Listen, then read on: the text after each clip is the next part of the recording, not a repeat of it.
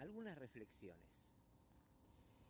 ¿Quién es el responsable cuando otro te trata mal o te hace sentir mal? ¿Vos que permitís que la palabra del otro valga más que tu propio concepto o del concepto que tenés sobre vos mismo?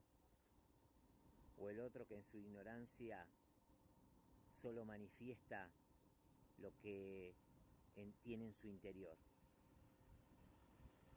¿Quién es el responsable cuando otro ejerce la agresión, el desdén o el destrato hacia ti? El que se manifiesta de acuerdo a su ignorancia y a su paupérrimo nivel de conciencia, o tú que te amas poco o no te amas y te quedas al lado de quien, no te valora y que te genera desarmonía, dolor o vacío. ¿Quién es responsable?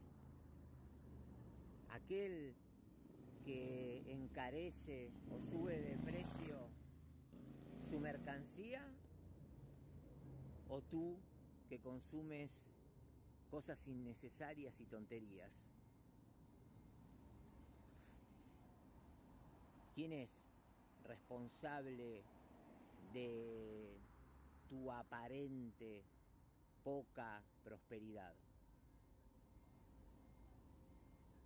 ¿Aquel que no reconoce tus talentos o tú que no te esfuerzas lo suficiente para ser útil por tu entorno y tus semejantes. Porque lo que sucede a nuestro alrededor nos está reflejando aquello que todavía no hemos trabajado en nosotros mismos. La siembra es opcional y la cosecha obligatoria. Pero recordá que tú eres luz y la esencia de la luz y de todo lo que es existe y vive en ti y hay una sola forma de encontrarla y manifestarla, a través del acto de amar.